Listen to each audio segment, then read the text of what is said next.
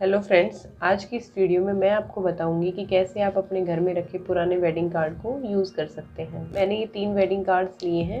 मैं इन पे कुछ आपको डीआईवाई करना बताऊँगी। ये देखिए फ्रेंड अगर आप इसको डायरेक्टली अपने मेन डोर पे लगाएँगी तो ये थोड़ा उतना अट्रैक्टिव नहीं लगेगा, बहुत सिंपल सा लगेगा। तो ये देखिए, अब मैं इस पर कुछ आउटलाइन या कुछ बॉर्डर लगाना चाहती हूँ। तो ये देखिए, इसका जो कलर कॉम्बिनेशन बनेगा वो या तो येलो के साथ बनेगा या महरून के साथ बनेगा। तो सेम इसी टाइप से इस पर गोल्डन टाइप का जो बॉर्डर लगाएँगे वो काफ़ी सूट करेगा।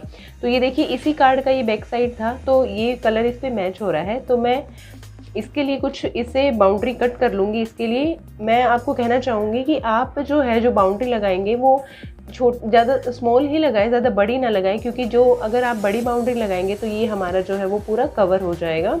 तो मैं इसको कट कर लेती हूँ, इसके लिए आउट बाउंड्री के लिए, और इसके लिए ये मेरे पास एक ग्लिटर पेपर है तो इसकी बाउंड्री लगाने के लिए मैं इस गोल्डन पे गोल्डन जो ग्लिटर पेपर है, उसको कट कर लेती हूँ। ये देखिए, ये मैंने पहले ही कट कर लिया था। तो ये जो है, ये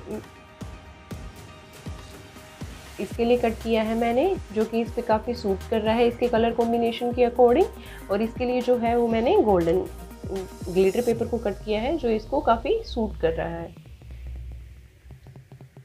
अब इसको मैं फेविकोल की हेल्प से फिक्स करूँगी। ये एक्चुअली ये पेपर है तो फेविकोल की हेल्प से इजीली फिक्स हो जाएगा तो हमें ज़्यादा कुछ इस पर एक्स्ट्रा लगाने की ज़रूरत नहीं है, ये इजीली फेविकोल से ही हमारा फिक्स हो जाएगा।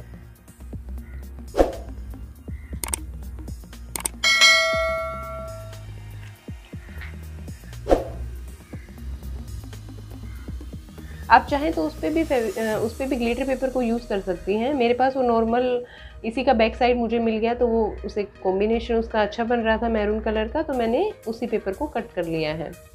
आप चाहें तो और भी कोई पेपर से कट कर सकते हैं उसको।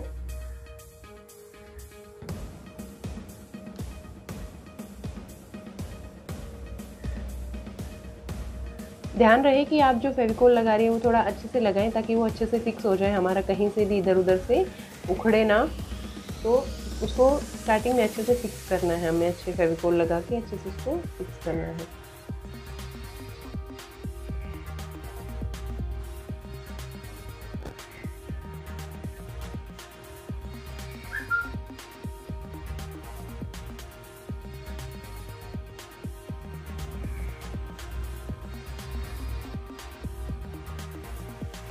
तो देखिए फ्रेंड मैंने इन पर बॉर्डर लगा दिया है तो ये मेरा कुछ इस तरह से दिख रहा है। तो आइए चलिए, अब इसको अपने मेन डोर पे लगा के दिखाती हूँ आपको। तो ये देखिए फ्रेंड मैंने इसको डबल साइडेड टेप की हेल्प से इसको अपने मेन डोर पे फिक्स कर दिया है। तो ये देखिए मेरा कुछ इस टाइप से लग रहा है।